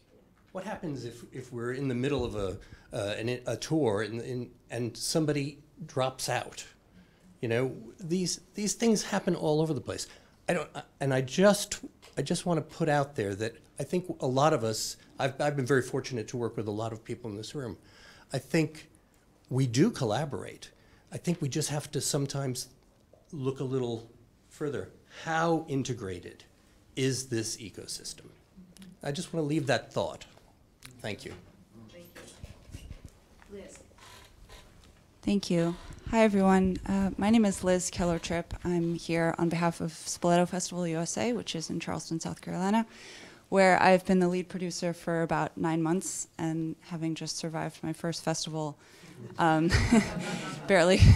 uh, I'm in the throes of frantically programming 24, 25, 26, and, and beyond, as I'm sure many of you are. Um, I'm, I'm so delighted to put uh, a lot of faces to names that I've heard um, in, in this job and previous roles, and I can't tell you how much, uh, so much of this resonates with me. I'm, I'm seeing um, so far in this post, which I'm, I'm bringing a, a, variety of experiences to, but it's the first time I've held a role like this. And um, what I'm seeing is, is almost a sense of competitiveness about creating new work, and that's something that we're struggling with internally, is wanting to be at the forefront of creation and producing while also honoring and giving second, third, fourth lives to really powerful work that's already out there. Um, and one opportunity I see for Charleston specifically and the South um, more broadly uh, is to offer different ways in, which is something I feel really passionately about as, as a concept, just making sure that there are either multidisciplinary ways of entering into a, a, concept or a programmatic idea, or some kind of discussion, or some kind of um, some kind of reflection that that offers um, that offers different kinds of pathways in. I, I know that I myself um, bristle at certain topics, but also need to hear them. But I need to be welcomed in somehow, or I need to be offered a different path in. Um, so, uh, so all of that has resonated with me. So I don't want to repeat anything that's been said, but um, maybe I'll just offer one other thing that I'm noticing in my work so far, which is that um, Spoleto specifically uh, has undergone a huge transition in its staffing. Uh, I'm one of uh, five brand new senior management members, um, and the general director is still quite new. Uh, Charleston itself looks way different than perhaps the last time any of you might have been there, um, except for you, Jennifer, maybe. But um, it's it's like half New Yorkers, and um, it's going to be underwater in five years, literally. And um, it, the prices are through the roof for absolutely everything. Um, so it's it's a bizarre place to be, be trying to create new work. Um, and one thing that I'm thinking a lot about and navigating to some degree is a sense of bristling against stories that might have once resonated locally. Um, Charleston has a really, really um, scary, angry, deep, important history uh, in American history, and uh, some really incredible stories, including the Pulitzer Prize winning Omar, which I had absolutely nothing to do with, but hooray, um, have, have talked about those stories, and I am feeling uh, a fatigue about things that are um, uh, stories involving race and gender and um, and issues that we as artists and art makers feel incredibly strongly about sharing stories of. And um, I I just want to name that, and I would welcome comments and further conversation with anybody about how you're feeling that in your own communities. But, um, but perhaps more importantly, uh, or rather, perhaps then all the more important to find different ways into a story, um, not just so that something is only pertinent or is not just pertinent locally, but rather that there are ways of reflecting on a specific issue that is, you know, far more broad-reaching than it might seem on the surface. So I welcome your thoughts. Yes, please.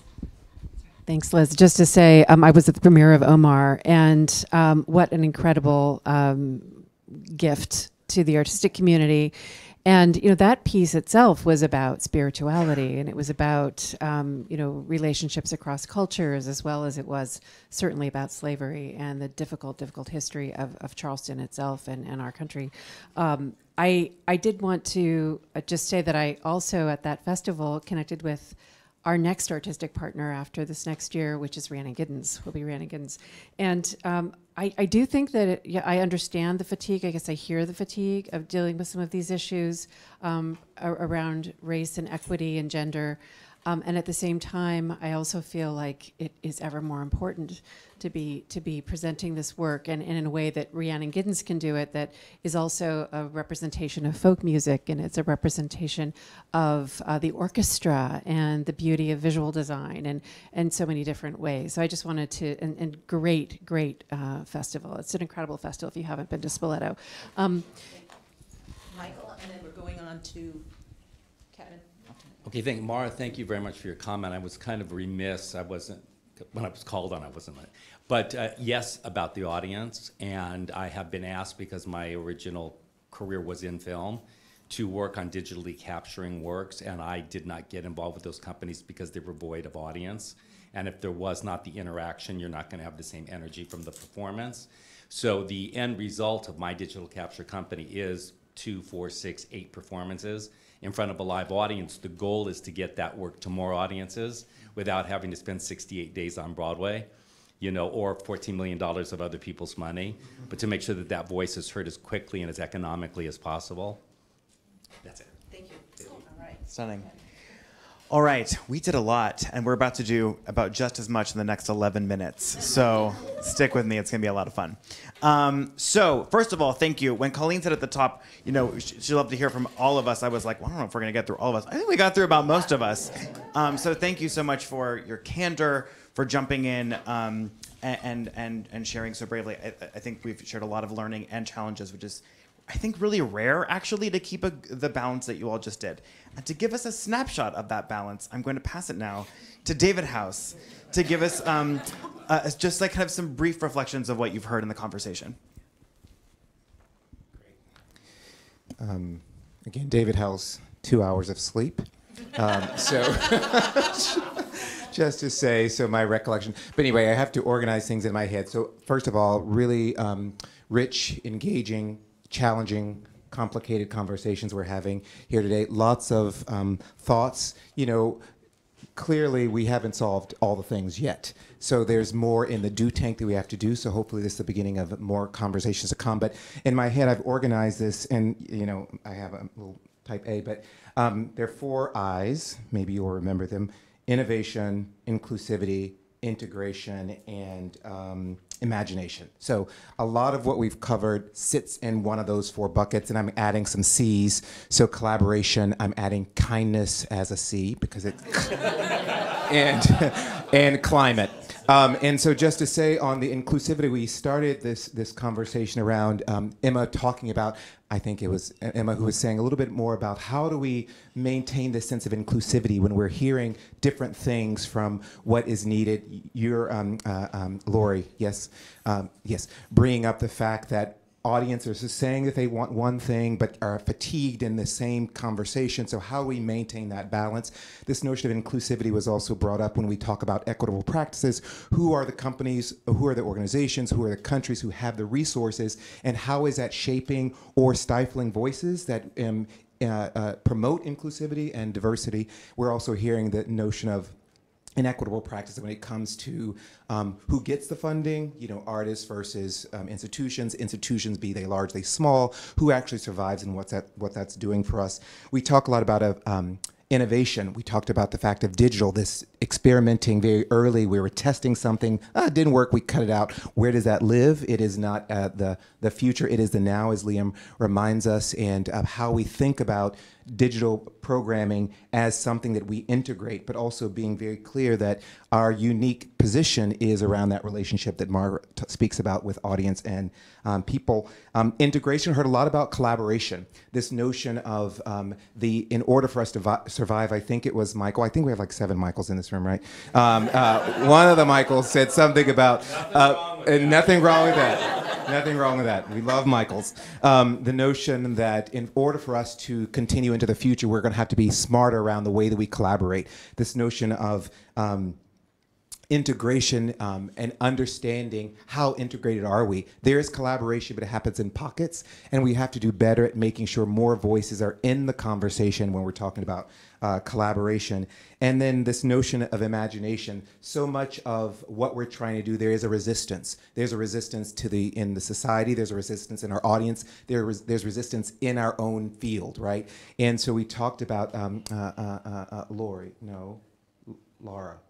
No, Linda. See, um, two hours. Uh, Linda spoke about the um, uh, the resistance that we're we're experiencing. Um, you, Laura. Yes. here over here. Um, also talked about we actually have some tools and we're still resistant to actually embracing those. So how do we um, break out of that resistance? And then you know again both. Um, Mary Lou and Mark mentioned the notion of uh, we have the answers. We can't wait for folks to come to us. We actually have to, we are the creative industry. We can actually present those um, forward. And then I'm going to go to my C's, the notion of climate and how we actually are attentive to the climate and the world that we live in, um, knowing the practice that we do. In fact, it feels like, a, I think you mentioned it's like a drop in the ocean, right? But we have to continue to do this and a lot of ideas are around travel that were brought up and how we might think about that differently. Um, and then um, I'm going to end with kindness because it just sounds uh, like a, a, great place to live. We are not always the kindest of people. We're not always the kindest of field. There's a lot of competition. There's a very um, much a scarcity mindset. And how do we move beyond scarcity to really abundance? And I think this kind of conversation, this kind of collaborative conversation um, uh, across the water is exactly what we need. We need more relationships. We need those three generations at the table so that we're actually solving these problems um, collectively. So I think that's my summary, and um, I thank you all for giving me this opportunity. Bravo! Bravo! David, that was absolutely, absolutely brilliant, and we. It was amazing. That, two it? hours of sleep. We want to see you when you've had eight. so that's just incredible. We want to take this opportunity to thank Roy and to thank Emma and to thank the Edinburgh International Festival for co-hosting this very important talk with us. That, that deserves a round of applause. and then we want to thank all of you because in this room are very busy people. You are doing yeoman's work. You are mindful of your communities. You are mindful of artists. You are mindful of the greater go- global good that we can do with our work. So we want to thank you for being here and sharing your time and energy with each of us. And particularly, we want to thank HowlRound for always keeping us together and keeping us going. So, on behalf of the IPC delegation, thank you.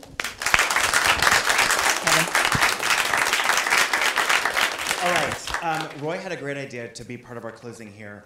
We're going to do like a minute. We're not going to pass microphones. We're just going to say titles of shows that we've seen in the festival or that we know that are playing in the festival that we are recommending to each other. Um, and then we can have this wonderful time in the lobby to say, what was that show? Where is it playing? How do I blah, blah, blah. But just a quick, I'm talking about like a minute popcorn, speak over each other, and then repeat yourself again to be heard.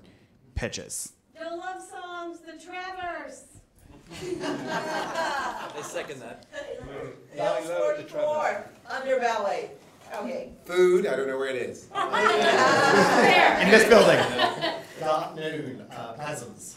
Um, it might not be on your radar, but the exhibition The Tower by Jesse Jones at the Talbot Rice Gallery, just around the corner, is a really remarkable uh, visual art and performance uh, that you should just drop into at any time you have a break in this neighborhood. Um, Song of the Goat Theater at Zoo. Theater Second that. Get it? It's a- Wiesenthal. Yeah, Wiesenthal. Oh, very good. Billboard for it. Pleasance. It's a motherfucking pleasure at Other Underbelly. I've heard about that a It's great deal. I'm Say so looking again. forward to it. It's a motherfucking pleasure, that underbelly.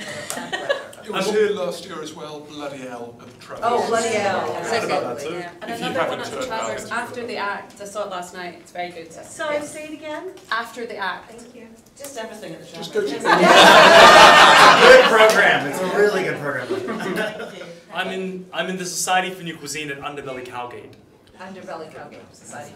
And uh, we have a small invitation from Punchdrunk Enrichment for, um, we've added an extra slot to their schedule tomorrow at eleven forty. If there are people that would like to see it, usually you're not allowed in with a child. Um, but you can, you can go tomorrow. The context is you just have to be aware that you're an adult without a child and imagine the experience with more children in the room. But if you would like a ticket, you can come and see me in the wine bar. Some of us can act like children. Yes, All right. exactly. And we should say that uh, that Punchdrunk show is a collaboration because they originated with Imaginate. Thank you, uh, Pamela. It was a couple of years ago, or was it pre-lockdown? Oh, Can't yeah, remember. it was Anyway, just so one of our collaborations, part of the festival, now with us. Was that- Thank Can you. I do, can I do, can I do a wee shout out as well, because there's just so much stuff out there, and we can all recommend things, but the, the Fringe app this year, yes, we have an app, and it works, you just shake the phone and it gives you a random selection. Oh, yeah. Just, just encourage everybody just to take a punt on something completely random, because you just don't know Well what you're gonna discover. Hey, hey, well said. Well done. Yeah. Jennifer, did you Oh, I just, I thought I saw a hand. No. Oh, no, no. Okay, so you overwatching. Anybody over here? Good? Okay, all right. As we close, take a moment to look around the room and make eye contact with somebody that you did not know when you walked in. Take that moment, see their eyes. You may never see them again. now, take a moment and make eye contact with somebody in the room who said something today that you are either really excited by or have a follow-up question for take that moment, find them, find those eyes. That's the first person you're talking to at the bar as we disperse there. All right? Thank you all so much for this time. If you're coming to Trojan Women tonight, we'll see you there. We're going to be here for a glass of wine after. Take your clear bag with you. It's your take home. Your clear bag. Take it home. Thank you so much.